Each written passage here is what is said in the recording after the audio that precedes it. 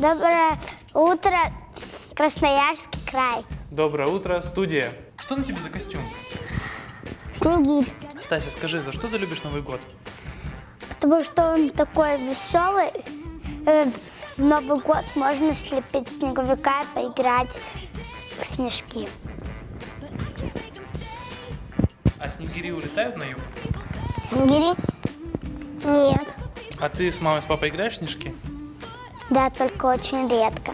Родители какое-нибудь новое такое лего, чтобы было с батарейками. На батарейках и чтобы ездило само собой. Я маме подарю новое платье. С ума зашьешь? Нет. Заставишь папу? Да.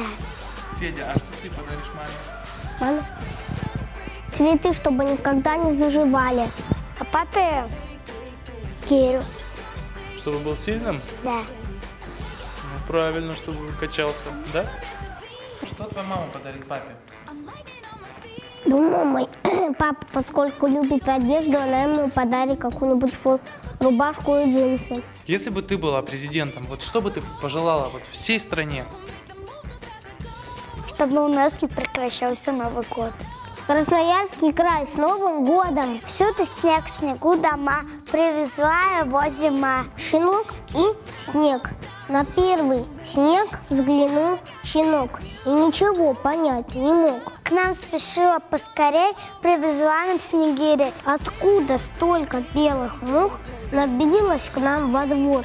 А может быть это птичий пух летит через забор? От зари до зари зиму славят снегири. Он пасть раскрыл и снегу хвать, и стал задумчиво жевать. Дед Мороз как маленький, пляшет у заваленки. Жует, жует, но вот беда, на языке одна вода. А я тоже так могу плясать на снегу. Он был не глуп, а просто мал, и снег впервые увидал.